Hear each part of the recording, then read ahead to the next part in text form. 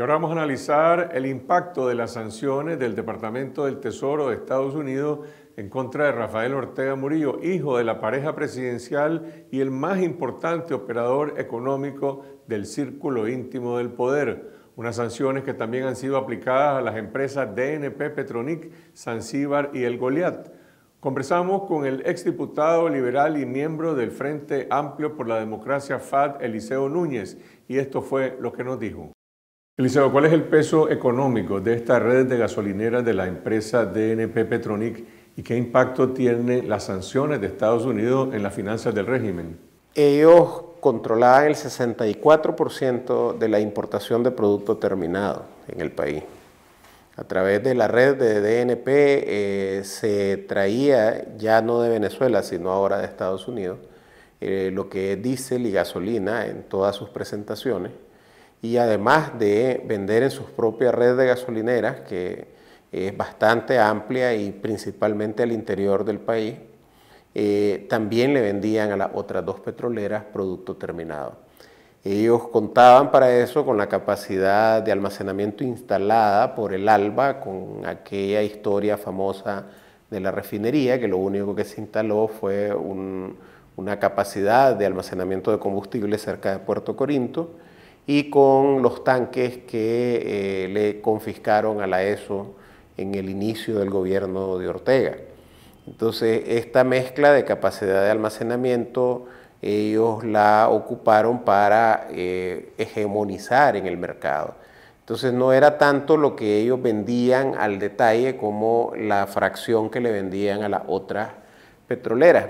Al final del día esto eh, trae una afección enorme, eh, el mercado de distribución eh, va a sufrir, yo no creo que desabastecimiento como tal, pero sí va a sufrir una transformación, porque los importadores ahora van a ser diferentes y los cálculos en las pérdidas para el régimen o para la familia a cargo del régimen se estiman en ganancias, no en, en el volumen de ventas, entre 70 y 100 millones de dólares anuales. La decisión del gobierno de nacionalizar DNP Petronic les permite evadir el impacto de estas sanciones? Parcialmente, porque lo que tiene DNP ya no va a poder ser transado. Eh, ellos dejaron de ser bancables. Y eh, el gobierno lo que está haciendo básicamente es tratando de mantener el abastecimiento de combustible porque el volumen que ellos importaban y distribuían sí impactaría sobre el mercado. Y la otra que estaría por verse, porque no lo dejaron muy claro, es el tema de indemnizar a, la, DNP, a los dueños de DNP, que sería para mí uno de los latrocinios más grandes que estaríamos viendo. En este caso eh, se está protegiendo al propietario de DNP Petronic. A final del cuento, Exactamente. Eh, los contribuyentes nicaragüenses podrían terminar pagando la protección de esos intereses que son los intereses privados del Grupo Ortega Murillo. No solo protegiéndolos, sino que además de eso, protegiéndolo desde el punto de vista de indemnizarlos, que no deberían, sino también dejándolo en, en la opacidad, en que no sabes, porque el proceso de expropiación es un proceso que lo puedes ver y lo puedes consultar y, está, y debería estar presupuestado. Entonces lo dejan ahí. Lo segundo que es bien, eh, diría yo, llamativo en esto es que le deja abierto al Ministerio de Minas y Energía la posibilidad de subarrendar, subcontratar, hacer lo que quiera con esta distribución. Es decir, eh, todas estas sociedades anónimas que inscribieron en el registro eh, y que nosotros ya no podemos verlas porque el registro lo hicieron privado hace ya casi un año, eh, todas estas sociedades anónimas ahora las pueden ser las que terminen transando con el Ministerio de Energía y Minas. Entonces lo que están haciendo es convirtiendo al Estado en un testaferro del grupo Ortega Murillo, lo cual también conlleva a un riesgo de contagio enorme de cara al tema de las sanciones eh, basado en los parámetros de lavado de dinero y, y activos. El gobierno no se ha pronunciado oficialmente sobre estas sanciones, el impacto político, el impacto económico que tienen. Sin embargo, hay reacciones y una de las reacciones principales, aparte de la virulencia del discurso de la señora Murillo, es el discurso del presidente Ortega en este acto de grabación de cadetes de la policía en el que ataca frontalmente a la empresa privada, a los grandes empresarios y prácticamente hace una advertencia, una especie de chantaje frente a la eventualidad de que se pueda realizar un nuevo paro nacional. ¿Cómo interpreta este, esta decisión de Ortega contra los empresarios? Yo creo que eso da una lectura de qué es lo que piensa Ortega de la administración pública. Él piensa que la administración pública le pertenece, porque lo que dice es que él le facilitó, le dio, le ayudó al sector privado y que éste le debe a él.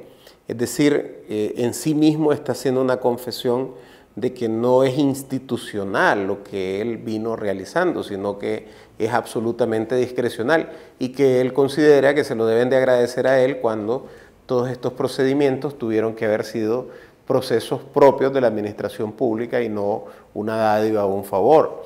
Adicional a esto, él hace otra afirmación que es que dice que tiene gran cantidad de documentación para acusar al sector privado de, y deja entrever, porque no lo dice realmente, de actos que van reñidos con la ley. Y esto, la pregunta que surge es, hombre, y si tenías esa documentación y sabías que eso era así, ¿por qué no actuaste cuando se dieron las cosas? Y lo que realmente está haciendo Ortega es queriendo llevar al sector privado debilitado a una eventual negociación en términos de sobrevivencia económica y jurídica de las empresas en el país. Y por eso es que está golpeándolo.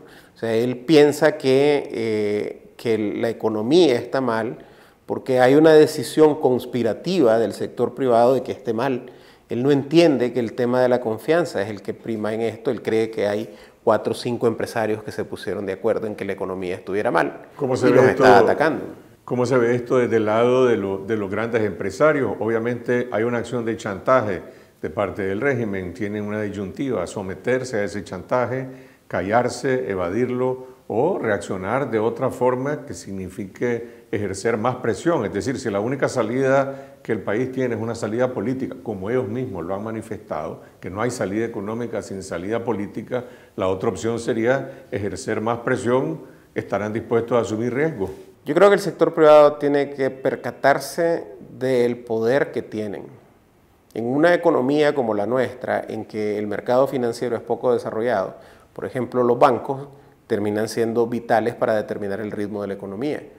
Además de eso, en el país, 2.000 empresas pagan el 65% de todos los tributos del país. Entonces, eh, no es tan así de que Ortega tiene el sartén por el mango.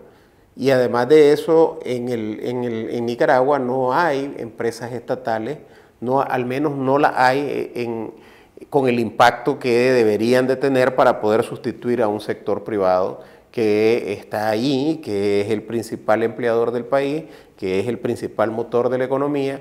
Y si los empresarios toman conciencia de esa cantidad de poder que tienen, tienen una mejor palanca para negociar y para poder alinear eh, las políticas públicas del país que la que tiene Ortega. Porque Ortega ya no tiene legitimidad, no tiene capacidad de recuperar la economía y lo único que tiene a estas alturas es 10.000 hombres armados para sostenerse en él. Pero cuando se habla del sector privado, estamos hablando de un conglomerado muy amplio de medianas, grandes y, pequeñas empresas. Cuando Ortega habla de los que le mordieron la mano al que le dio la mano, da la impresión que se está refiriendo con nombre y apellido a algunos líderes de los grandes grupos empresariales. La pregunta es cuál es la posición que tienen estos sectores. Sí, pero es bien piramidal el sector privado, a pesar de que estamos hablando de algo muy amplio. Eh, como te dije, los bancos tienen un poder inmenso en este país no solamente por la cantidad de dinero o ganancias que acumulen, sino por, su influencia en, la economía. Y esto tiene que ser, eh, tiene que tomar conciencia el sector privado de esta capacidad que tiene de poder responderle a Ortega y no meterse en un juego en que aceptan el chantaje y al final del día lo único que van a tener es que Ortega va a seguir chantajeándolo y va a seguir en detrimento de sus propios intereses hasta que llegue un momento en que los saca del país y los desaparece, al menos como empresarios nacionales. Entonces, eh, esto tiene que ser repensado una y dos veces y ese chantaje de Ortega para mí es un chantaje a estas alturas vacío. porque él, por mucho que saque, por mucho que diga, no tiene credibilidad, no tiene legitimidad para impactar sobre mecanismos que realmente son eh, eficaces para enfrentar a un sector privado. Te lo pongo claro como ejemplo, ¿qué va a escoger el sector privado? Entre aliarse con Ortega, como él lo pediría a cambio del chantaje, y arriesgarse a sanciones de los Estados Unidos que le dan muerte civil en todo el mundo, o eh, que Ortega lo dañe localmente y sobrevivir fuera de Nicaragua. Creo que la escogencia es bien fácil pues, pues en, en temas de intereses y en temas de, la vitalidad que pueda tener el sector privado. Con la clausura del periodo legislativo en la Asamblea Nacional este 15 de diciembre, se cerró el año político, hay, existen muchas conjeturas de acciones que el gobierno todavía podría adoptar eh, apuntando hacia el 2020 y 2021. Yo creo que Ortega eh, pudiera poner sobre la mesa algo durante este periodo, aprovechando eh, el periodo como de latencia en que entra el país entre el 24 de diciembre y el 1 de enero. Eh, hay un adormecimiento y puede poner algunas cosas a jugar que le permitan después intentar una negociación bajo sus propias condiciones más adelante. Eh, yo no dudaría que llame a la Asamblea para algo como una reforma electoral o llame para algo como una reforma constitucional que le deje la posibilidad de jugar hacia adelante. O sea, que la llame en el periodo de receso. Que la llame en el periodo de receso, porque ya se cerró, ya se reformó con lo de los próceres, pero sí eh, han plantado el rumor de que puede haber algún tipo de reforma.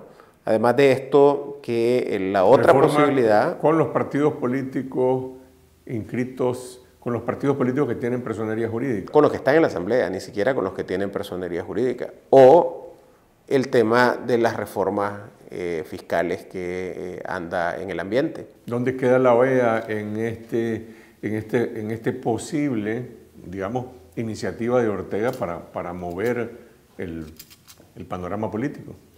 Yo tengo entendido de que ha habido un diálogo no oficial con la OEA, no intenso, ni, ni digamos muy continuo, ha sido más bien intermitente, pero no han cerrado comunicación pero tampoco se ha avanzado gran cosa y me llama la atención la sustitución de la embajadora en, la OEA, porque a mí me parece que Ortega va a tratar de entrar a un estado de stand-by en la OEA en que va a quedar sin embajador para no retirarse, pero tampoco generar importancia de lo que esté pasando en ella.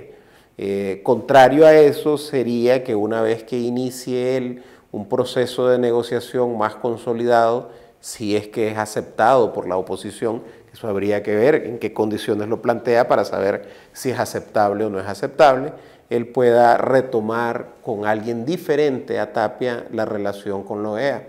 ¿Ya vos crees que el 2020 vamos a tener nuevas acciones políticas y no solamente represivas de parte del régimen? Yo creería que él va a tratar de usarlo como válvula de escape, no como arreglo a la solución eh, arreglo al problema. Ortega va a tratar de encender algunas, algunas luces que le permitan tener alguna válvula de escape sin llegar a ninguna solución, un poco de gatopardismo, pues para que, para que todo siga igual algo tiene que cambiar. No, no tengo grandes expectativas de algo que realmente solucione el problema de fondo eh, como parte de una solución política. Eso es lo que dice el exdiputado y miembro del FAD, Eliseo Núñez.